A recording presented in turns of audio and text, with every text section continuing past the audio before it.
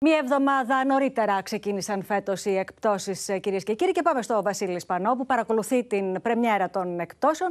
Με τους εμπόρους, Βασίλη, να επενδύουν πολλά. Να επενδύουν πολλά, αλλά ταυτόχρονα βέβαια μήνα για αυτό που είπες να δηλώνουν ευνηδιασμένοι, καθώς ήθιστε οι εκπτώσει να ξεκινούν στις 15 περίπου Ιουλίου και να διαρκούν βεβαίως μέχρι τις 30 Αυγούστου.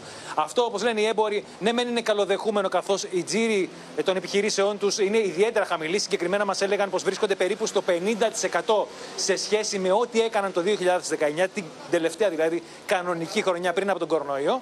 Ωστόσο, ε, αυτή η ευνηδιαστική απόφαση του Υπουργείου Ανάπτυξης τους έφερε σε μια κατάσταση να τρέχουν να προλάβουν να ετοιμάσουν μαρκίζε, ταμπελίτσε, να, να βάλουν τις διπλές τιμές επάνω. Τώρα από εκεί και πέρα στο διατάφτα, γιατί η ουσία του πράγματος είναι εάν ε, μπαίνει ο κόσμος στα μαγαζιά ε, για να ψωνίσει. Υπάρχει μια κινητικότητα σήμερα, πρώτη μέρα των εκπτώσεων μήνα.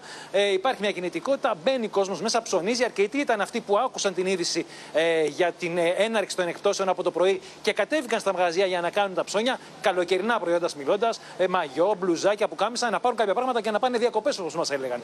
Ε, βέβαια, ε, η κίνηση δεν είναι αυτή που θα έπρεπε να είναι, με δεδομένο, μήνα όπως ξέρεις πολύ καλά και εσύ, πως ε, ακόμα η, η τουριστική κίνηση στην Αθήνα είναι χαμηλή και βέβαια ο, το, το, ο τουρισμός εξαρτάται και το, εμπόριο, το τουριστικό εμπόριο εξαρτάται σημαντικά από το ξένο συνάλλαγμα. Μήνα.